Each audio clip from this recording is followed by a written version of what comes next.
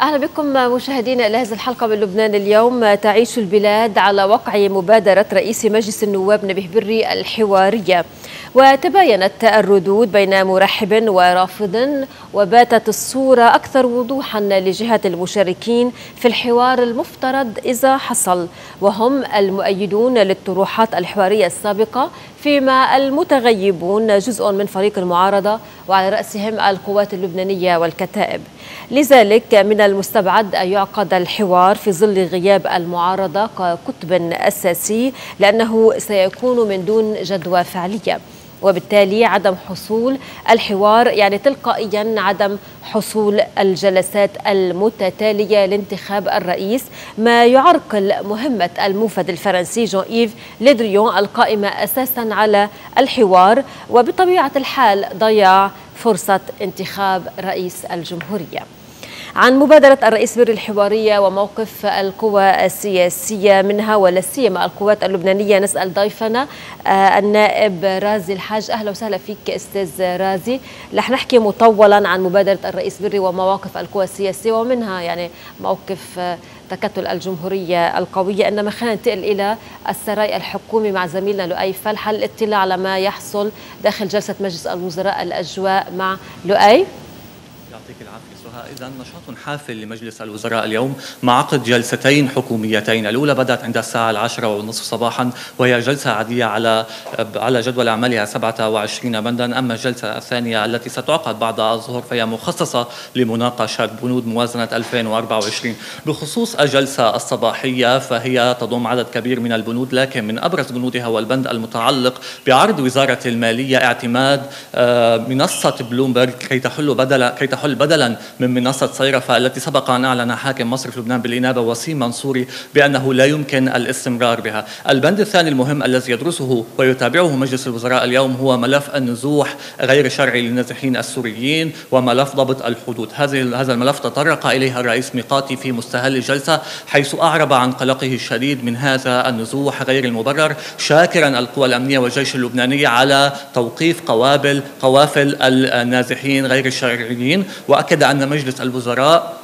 يتابع هذا الملف لاتخاذ الخطوات المطلوبة ومنها إمكانية عقد جلسة لمجلس الوزراء الأسبوع المقبل بشان الملف النازحين غير الشرعيين بحضور قائد الجيش وقادة الأجهزة الأمنية. سياسيا أيد الرئيس ميقاتي دعوة الحوار البرلماني مشجعا القوى السياسية على التلاقي من أجل انتخاب رئيس للجمهورية كي يشكل مدخلا لحل الأزمات التي نواجهها، مؤكدا أن عقد هذه الجلسات جلسات الحكومة هو من أجل أجل تحمل المسؤولية وليس من أجل مصادرة صلاحيات أي جهة. بشأن الواقع الاقتصادي الصعب طالب الرئيس ميقاتي من الوزراء المعنيين مراقبة الأسواق ومكافحة ظاهرة الغلاء ومعاقبة المخالفين. أما بالنسبة إلى الواقع التربوي ونحن على أبواب بدء العام الدراسي فقد طلب فقد شدد الرئيس ميقاتي بأن الحكومة تتابع موضوع غلاء الأقساط ودولرتها وطلب من وزير التربية عباس الحلبي التشدد في هذا الموضوع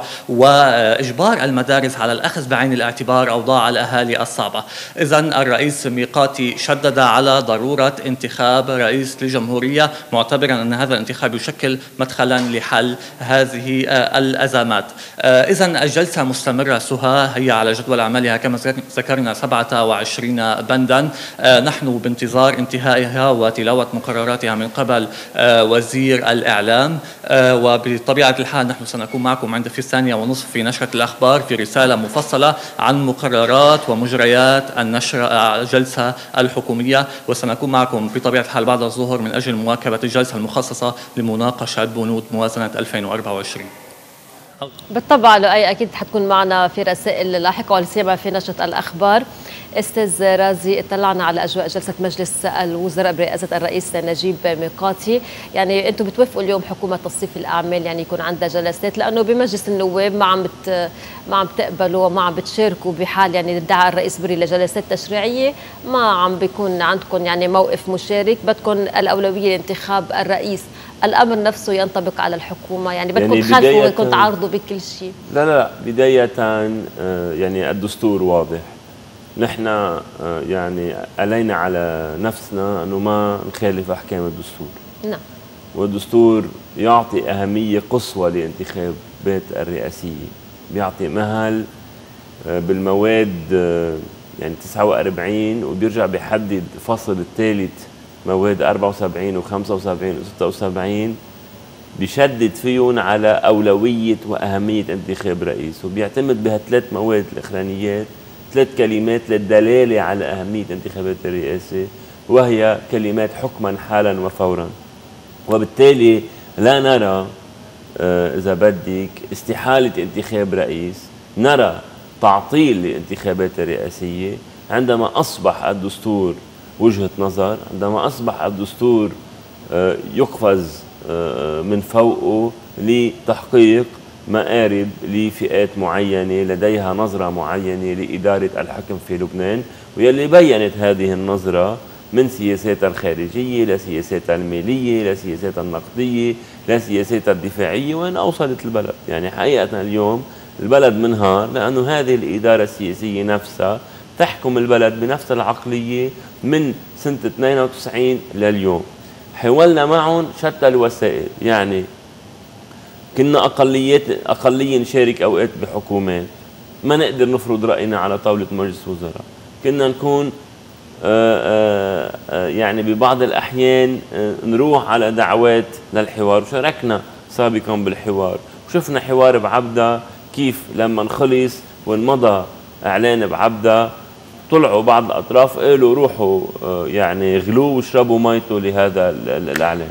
بالتالي تجاربنا مع هذه الإدارة السياسية كبيرة وعميقة وموجعة للحقيقه نعم. وفيها خيبه أمل كثير. رازي اليوم الأمور مختلفة الوضع بالبلد مختلف. اليوم نعيش انهيار. عندنا فرصة هلأ لانتخاب رئيس. لأنه مختلف عندنا فرصة كثير قيمة لانتخاب رئيس. لا أول يعني شيء الفرصة قائمة من 31 تشرين لما خلصت ولاية الرئيس هون.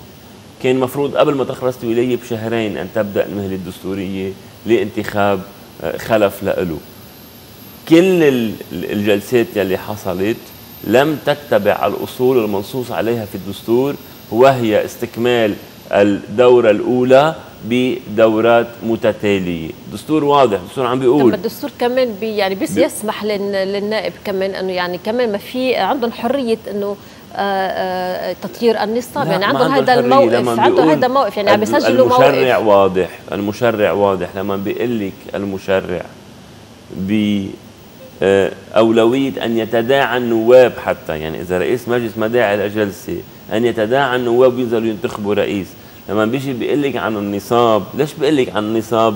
أنه أول دورة 86 لأنه هو معتبر أنه كل النواب ملزمين انهم يجوا على هالجلسة. يعني مش عم بيقول مش عم بيقول النصاب بس 86 بأول جلسة لازم ياخذ 86 صوت فينجح من أول دورة. فياخذ 86 صوت يعني بده يكون كل المجلس تقريبا حاضر, حاضر. لأنه المشترع لما عمل هالدستور ما عملوا بنية سيئة ما عملوا بنية تعطيلية ما عملوا بثقافه فرض أمر واقع ما عملوا بثقافه فائض القوة يلي عم بيجرب يمارسها البعض علينا.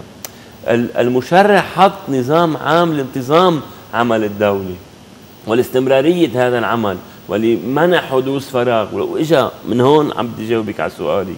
لما نحكي عن تصريف الأعمال بغياب رئيس قال تصريف الأعمال بالمعنى الضيق. ليه؟ لأنه هذا التصريف الأعمال لن يدوم طويلا لأنه حقيقة اعتبر انه رح يكون في انتخاب رئيس رح يكون في استشارات نيابية للرئيس المنتخب.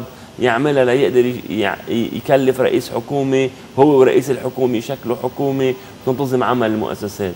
النية التعطيلية لم تأتي لا من الدستور يعني المشرع ولا كان بيعرف أكيد استزرازي إنه هالبلد رح يعلق بين هالقوى السياسية المتناحرة اللي كل حدا بتمترس عند موقف وما حدا عم يتنازل. كعمي مشرع شو يعني ما كان يعني أكيد بيعرف إنه هيك حيكون هالبلد علقان بين هالقوى لا السياسية. لا يعني من ال من ال إذا بدك الخطيئة أنه نجي نقول كل القوى السياسية مثل بعضها. يعني بس القاتل والقتيل لا لا القاتل يعني بالماضي والقتيل عم بتساوي يعني ما كلنا شايفين المواقف ما حدا أثر عم ببعضه. عم بتساوي القاتل مع القتيل. عم تساوي اللي عم بيطبق الدستور باللي مش عم بيطبقه. عم تساوي يلي عم يطبق هون يعني يلي سؤال بشكل عام, عام بي إذا تاخر لا لا نفرض إنه تأخر انتخاب الرئيس سنوات وسنوات. نبقى بحكومة تصريف أعمال على نطاق ضيق جدا وجلسات تشريعية إلا عند الضرورة القصوى. ما, يعني ما يصدر ولا قانون. هل هل يجوز هذا الأمر؟ ليكي شو الخطر الخطر يلي نحن عم نلمسه إنه في مين بده يوصل رسالة ثانية بهذا الفراغ. اللي هي إنه رئاسة الجمهورية منه أمر كثير مهم لانتظام عمل المؤسسات إنه الدولة بتمشي بلا رئيس. وهيدا الأخطر. يعني هي الرساله المبطنه اليوم الرئيس يعني مئاتي شو بداية كل جلسة الرئيس مئاتي يدعو إلى انتخاب رئيس وهالمعطلين يتفضلوا ينزلوا على إيه المعطلين برافو. وينتخبوا. يعني دائما يعني يعني أنت قلتي لأنه لما يتهم الرئيس مئاتي أو الحكومة الحالية وكأنها يعني تصادر صلاحيات رئيس الجمهورية وبقول لهم نحن عم نقول نحن مش الحكومة اليوم يا أستاذ نحن مع بتعطل انتخاب الرئيس. الضيق ونحن مع اجتماع الحكومة لأمر الضرورة القصوى. يعني اليوم مثلا في أمر آه عم بيصير بحاجة لاجتماع حكومي إيه نحن معه. طيب شو بتشوف اليوم؟ في ضرورة يعني اليوم مثلا موضوع النازحين السوريين إيه بده جلسة. يعني أوضاع العالم موضوع الانهيار موضوع هلأ موضوع بأيلول طلعت يعني صرخة العالم مدارس جامعات يعني أوضاع آه، غلاء أسعار مواد غذائية أسعارها يعني ما بيساعدك كل هيدا جلسة لمجلس الوزراء؟ نحن بيساعدنا انتخاب رئيس. كل أمر آخر بيساهم باستمرار الوضع الحالي على حالته وبيعوق انتخاب الرئيس بيكون هو مشارك بالانهيار. الانهيار هو مسار بدأ مع الخلل القائم بأعمال السلطات. يعني اليوم إذا أنت بتشوفي كل العهود وكل الحكومات من عشر سنين لليوم تقريبا نص وقتها عم تشتغل بحاله شلل يعني في في عندنا فراغ يا برئاسة الجمهورية يا بتشكيل الحكومة يا بإقفال مجلس النواب. ليه؟ لأنه ما حدا مستعد يطبق النص الدستوري. وهيدا يلي نحن عم نقوله اليوم لا يمكن بناء دولة بتبويس اللحى. لا يمكن بناء دولة بالكذب على الناس وبمزيد من الترقيع. المزيد من الترقيع رح يجرنا إلى مزيد من الويلات. إما أن نقوم بإصلاحات. ولا بنحكي. يعني نحن صار لنا أربع سنين بالأزمة. لك إصلاح واحد ما شفنا. بتعرفي شو أربع سنين؟ يعني أربع سنين ثلاث سنين منهم في رئيس جمهورية في حكم بأربع سنين في حكومتين متتاليتين في في مجلس عامل جلسات قبل يعني يصير هيئة ناخبة ويرجعوا عملوا بدعة الجلسات التشريعية بعد ما صار هيئة ناخبة. صفر إصلاح صفر إصلاحات. طب ما عم بيكون في طب يا عمي مين مسؤول عن هذا الأمر؟ طب ما بدنا نسال ما قلنا حق نسأل نحن. مين مسؤول عن هالصفر إصلاحات يلي ولا حكومة لحديث هلأ عملتهم؟ وأنا رح أحدد لك. ليكي لأقول لك شغلة. هلأ هن بيعتبروا إنه عم يعملوا إصلاحات. ما رح أقول لك ما خبريني وين. في امور كثير صارت. بالسياسة الماليه بتدخل ضمن الإصلاح. السياسة المالية. يلي هي ركيزة إذا بدك أي إصلاح لأنه هي اللي سببت ب المسبب الأكبر بالانهيار كان العجز المتنامي بموازنات الدولة يلي أدت إلى آه، الانهيار بالترافق مع سياسة نقدية ما بتسوى. طيب بالسياسة المالية شو مشكلتنا؟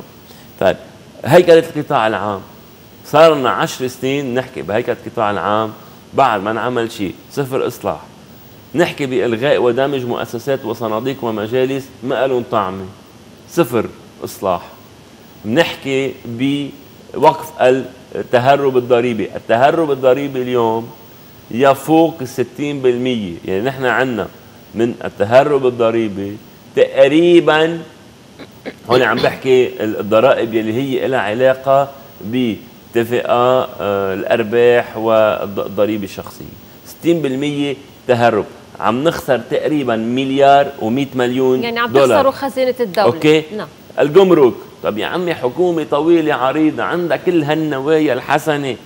لك يا عمي مش قادرة تمشي هلأ هي مش, طو... مش طويلة عريضة؟ هلأ حكومة مش تصريف مش قادرة مش قادرة تمشي سكانر واحد على المرفق.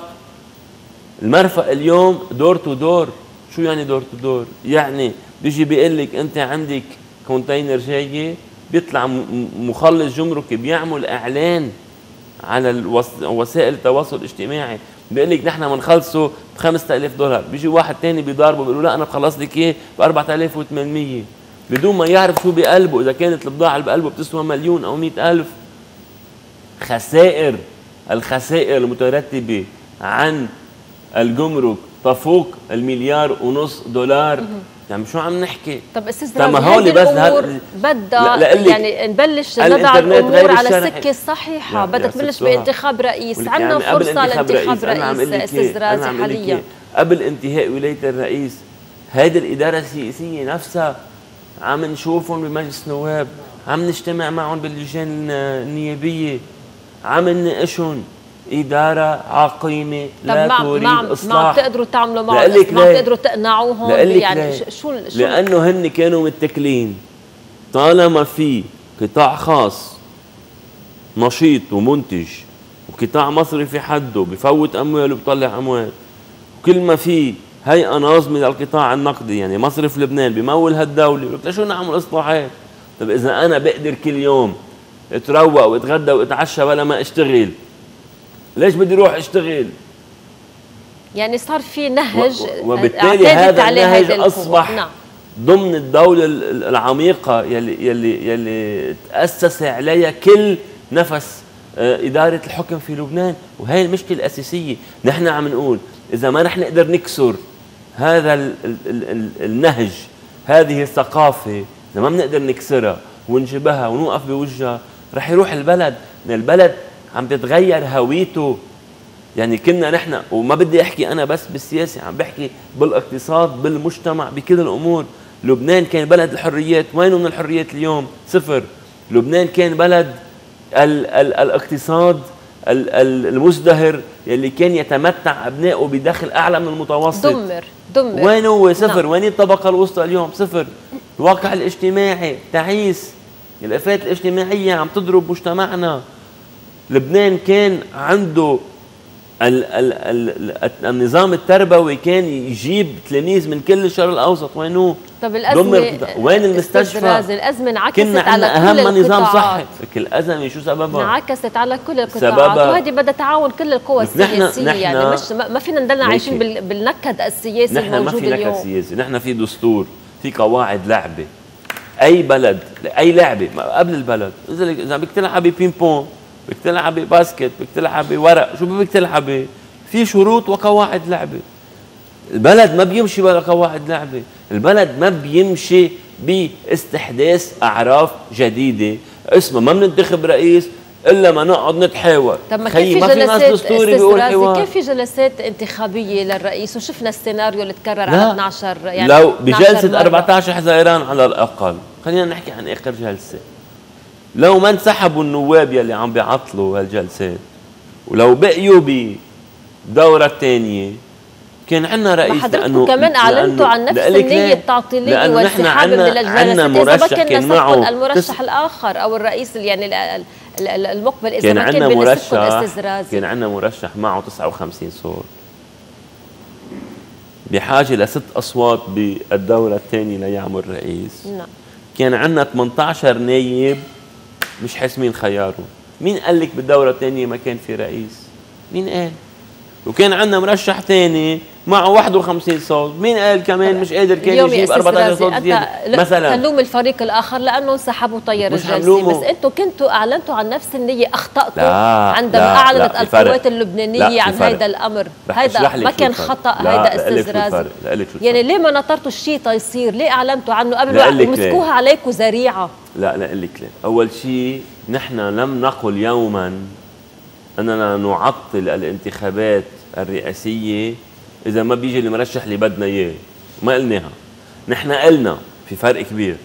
قلنا إذا بده يبقى فريق الممانعة مسكر المجلس شهر واثنين وثلاثة وأربعة وستة وسنة حتى يضمن انتخاب مرشحه حصرا ويجي على جلسة مسبقة النتائج تحت هول الترغيب والترهيب والتخويف نحن بنقاطع هيك جلسة لأنه بنكون عم يفرض علينا رئيس مش بعملية ديمقراطية انتخابية في فرق كبير لا؟ في كان يعني نحن اليوم إنه نحن لو بالمهلة فينا الدستورية كمان لقلك لقلك لكمل آه، نطير النصاب إذا ما كان المرشح مش الآخر هيك. يعني على مش هيك. هوانا مش هيك قلت لك شو الفرق لو بالمهلة الدستورية نزلنا على المجلس وهذا المجلس أفرز رئيس أيا يكن كنا قمنا آه، باركنا له بس هن بيعرفوا أنه ما عندهم القدرة على فرض رئيس.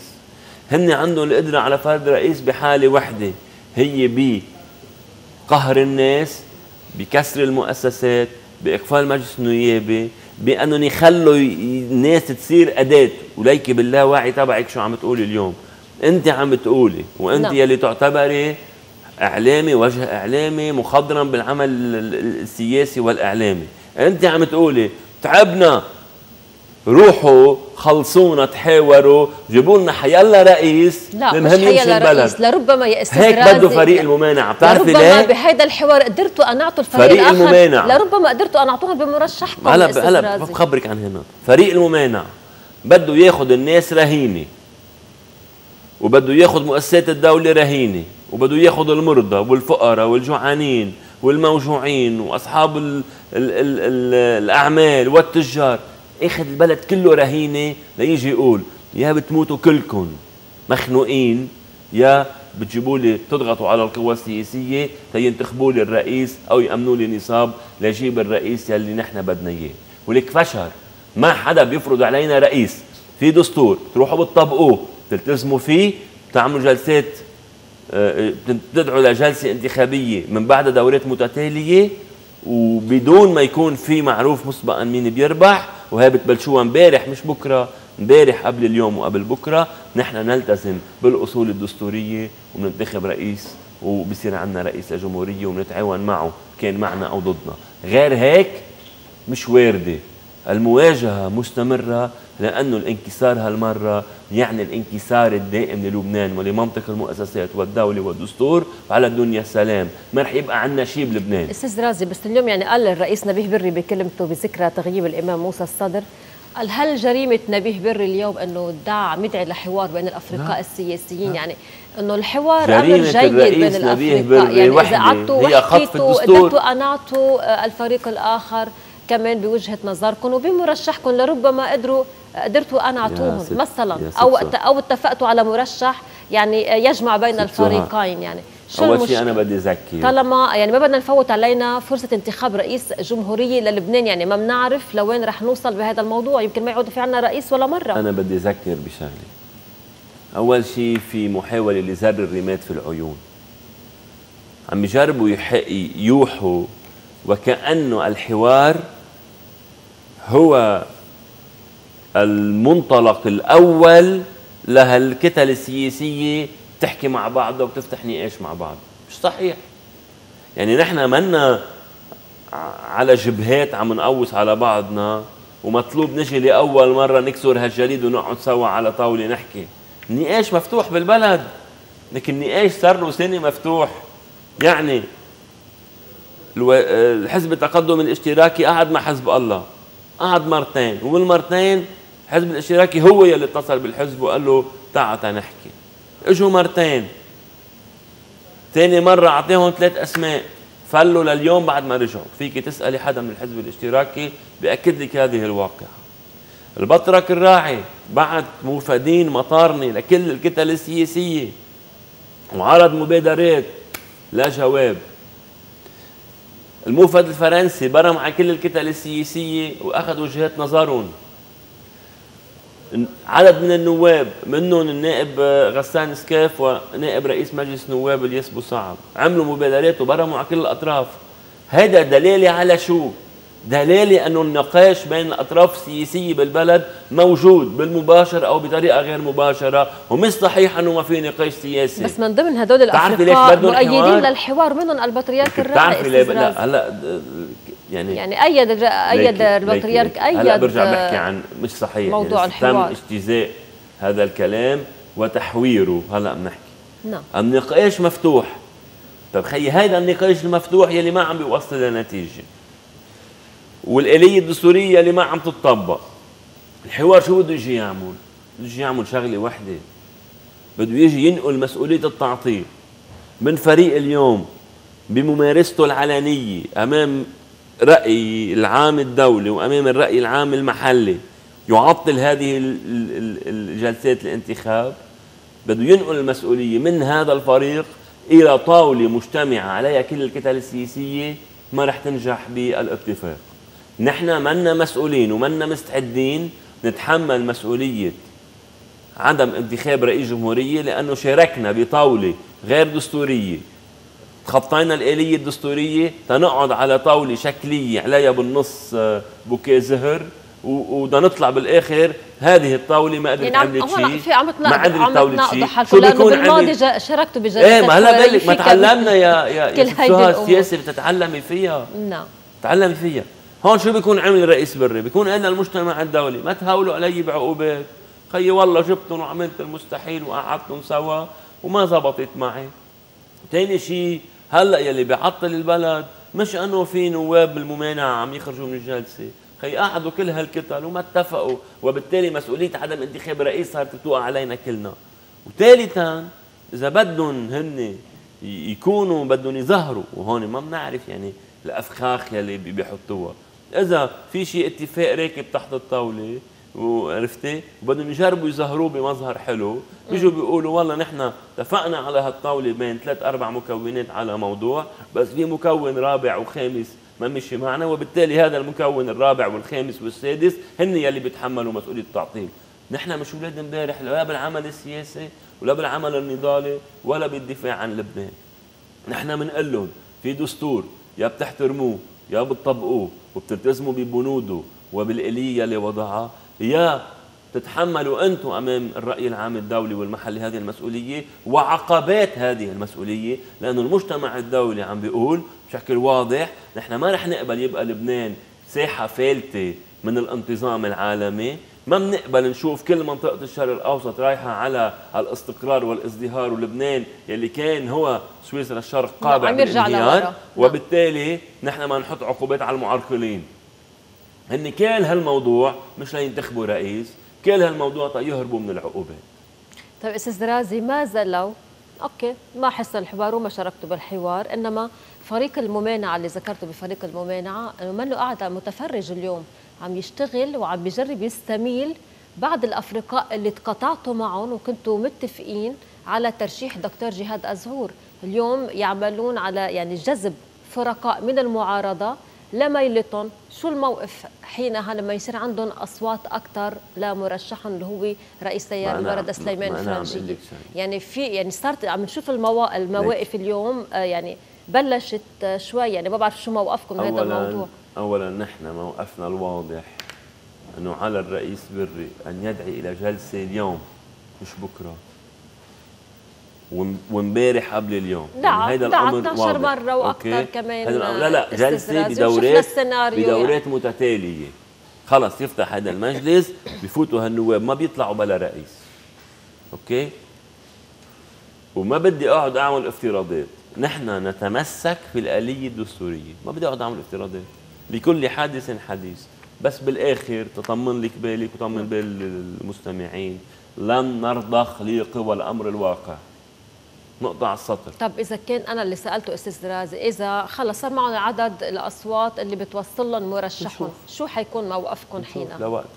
بكير. لأنه عم نسمع كثير كلام فيدرالية وما رح يعني. بكير بكير. لكل مقال قد إيه بعد بدنا ننطر؟ قد إيه بعد في وقت؟ بكير. يعني بعدنا عم نحكي إنه لازم الانتخاب كان يصير امبارح قبل اليوم. نحن يعني بعد بعدنا عم نقول بكير. جزء من ال... من خطة آه، المواجهة والصمود هي أن لا نخضع لقوى اللي عندها فائض قوة وبدها تجرب ترهبنا وترغبنا وتخوفنا. ويلي بالمقابل عم تستخدم الناس رهينة برجع بكرر. بهذه المعركة السياسية. نحن بدنا نحرر الناس بدنا نبني لهم مؤسسات بدنا نجيب لهم حقوقهم بدنا نرجع نعمل إدارة مستدامة وعصرية بدنا نرجع نبني دولة بدنا نرجع نبني شرعية سلاح واحد لدى الجيش اللبناني حامي الأرض والشعب. أوكي؟ نعم. رح كمل والبقية تأتي. نعم. والبقية رح نحكيها بعد الفاصل أستاذ رازي محطة إعلانية ونتابع.